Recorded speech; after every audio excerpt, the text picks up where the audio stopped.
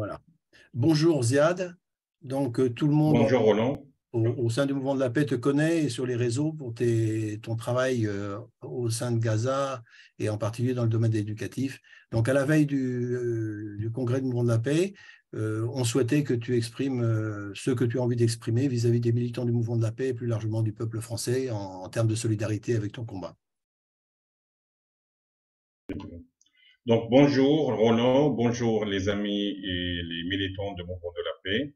Donc, c'est Ziyad Midouk, professeur, chercheur, professeur universitaire à Gaza, euh, poète et écrivain d'expression française, mais simple citoyen palestinien qui vit un quotidien difficile à cause de blocus, à cause des agressions israéliennes au quotidien, mais un militant qui a choisi donc la non-violence comme, euh, comme action et donc, euh, ça me fait plaisir d'échanger avec vous, les militants de Mouvement de la paix, qui faites un travail remarquable pour la paix et pour l'avenir de la planète. Donc, pour euh, mes actions à Gaza, donc, sont des actions donc militantes, mais surtout des actions sociales, culturelles, éducatives, pédagogiques avec les enfants, avec les jeunes. On essaie un peu de sensibiliser les jeunes et les enfants au bénévolat. On essaie un peu de maintenir l'espoir avec les jeunes on fait beaucoup d'activités le soutien psychologique avec les enfants, notamment après chaque offensive militaire.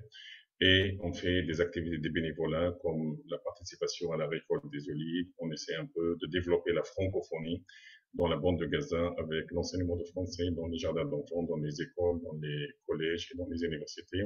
Et donc, on essaye de faire des réunions, des échanges Zoom avec les francophones via Zoom. Donc, nos actions sont des actions donc euh, très euh, connues pour le mouvement de solidarité, pour les mouvements de la paix, parce que je suis en contact avec Roland, avec euh, beaucoup de militants, beaucoup de responsables du mouvement de la paix, que je tiens à célébrer leur courage, leur détermination, surtout dans cette situation terrible dans le monde, avec les guerres, avec la violence, avec les beaucoup de problèmes donc écologiques et économiques, mais pour nous, on essaie de garder l'espoir euh, d'un lendemain meilleur, un lendemain de paix et de justice, parce que il n'y aura jamais une paix sans justice. Donc, c'est un plaisir pour moi d'échanger avec vous.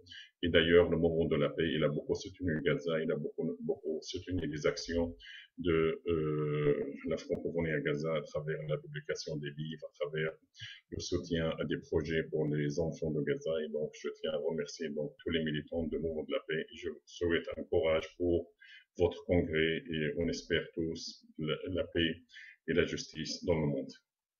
Euh, quelles sont tes actions principales aujourd'hui? On a vu le, film que tu as passé sur les jeunes et le football, qui est intéressant sur la vie, et peut-être de nous parler de ton dernier livre.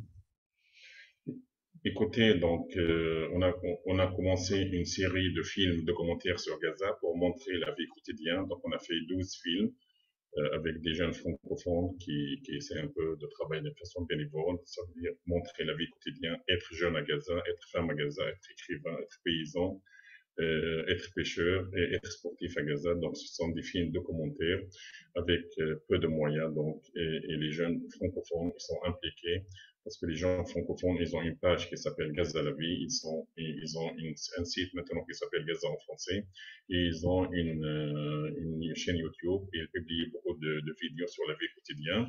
Et donc pour moi, personnellement, donc j'essaie d'encourager les jeunes francophones à développer la francophonie à travers ces films documentaires, à travers des vidéos sur la vie quotidienne en français.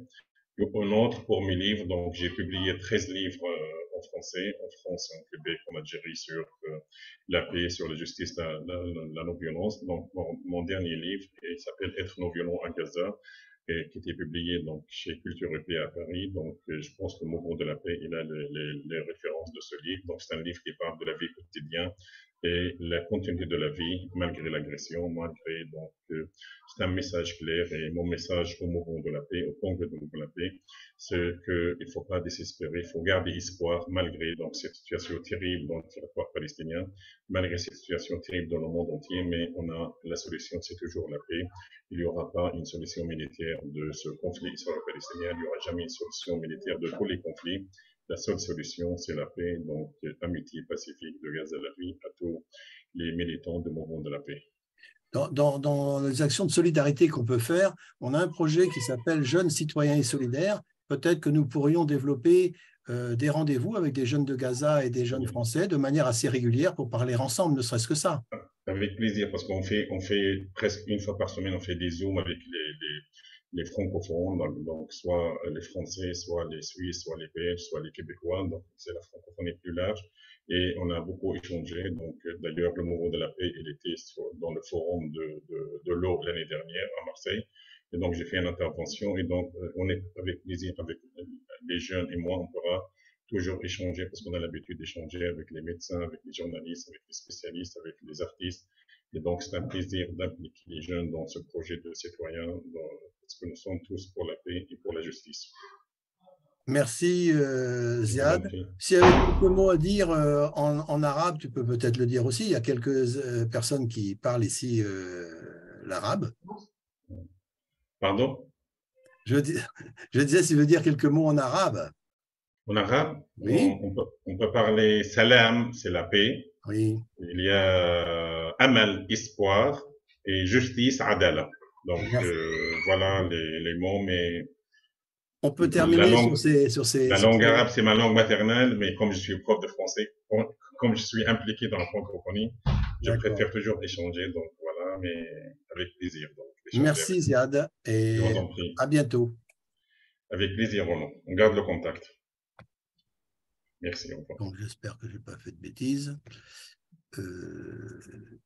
Ça va, tu es enregistré? Oui, enregistrement. Oui, faut, je vais peut-être pas arrêter au bon moment, mais.